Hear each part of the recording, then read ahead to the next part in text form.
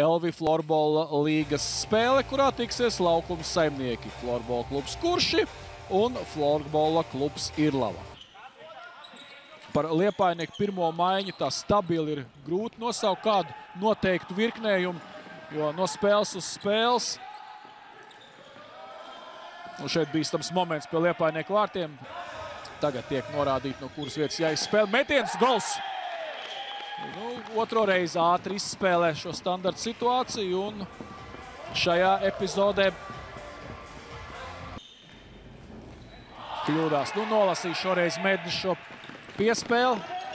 Un Kazlausks atpakaļ. Tad pretuzbrukums iekrita mainieku uz šo vēlmi mazākumā gūt vārds. Un vēl kad nedaudz vairāk kā pusminūte bija palikusi. Klamers, laukums stūrī.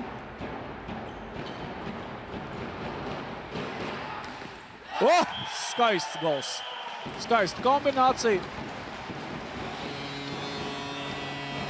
Ošērvits. Viņš atkal vārtu bumbiņu vārtu priekšā. Nu, tur pārāk aktīvu, agresīvu Liepājnieki cīnījās vārtu priekšā. Tur cieta atkal Klestraus. Otro reizi jau ir cietis Klestors.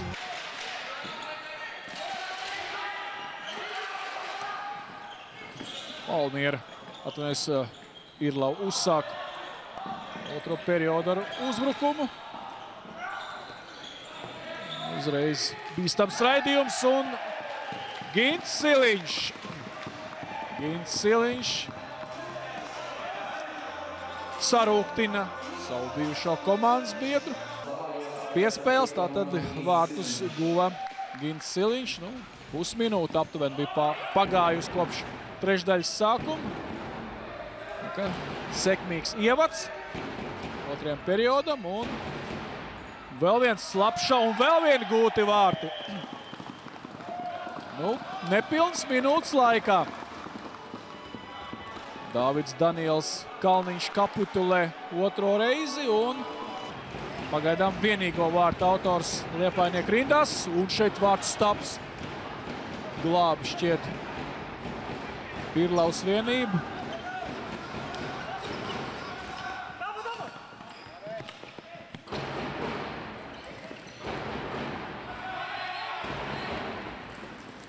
Labs ātrs reids, krītošs Šērvits un 5-1. 24. minūte un ir lau panāk jau 5-1. Nu, pavisam. Eglītis ar bumbiņu. Riskanti, bet precīzi piespēle Alonderim. Alonders labā metienu pozīcijā. Nē, nē, vārti netiek skaitīt. Tur prasa ķemeris ieskaitīt vārdu guvumu. Vārti bija zaudējuši mazākumā spēlējušai vienībai un turklāt vēl gūti vārti. 6-1, 6-1. Skaitiskajā mazākumā panākumu gūst Irlavas vienība. Stančiks, komandas kapteinis, labi piespēle. Un tiešām skaista kombinācija Irlavas izpildījumā. Nu, droši vien, ka tāda mājas sadarbība un rezultāts 15. minūtē, otrās trešdaļas 15. minūtē kļūst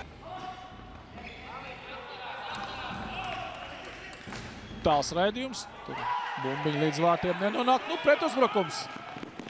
Nu, arī šādā situācijā Liepainieki negūst vārds, kad iepriekš Kristapam Jaunzemam nu, beig beigās no sekmīga uzbrukuma neizdevās nekas.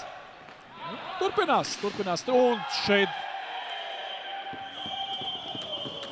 un būs vēl noraidījums jau pēc gūtiem vārtiem. Visticamāk par nedisciplinētību. Kāds no liepainiekiem tur sākotnēji šķit, ka tur varētu Salkrast Ādažu Carnikovs komandu gūt uzvaru, bet tikmēr, kamēr jums uzstās par paralēlo maču, Liepainieki realizē skaidrisko vairākumu un 43. minūtē Metiens no Asaleņķa poļa izpildījumā. Tur nu, svilpi neatskanēja, tā kā var spēlēt.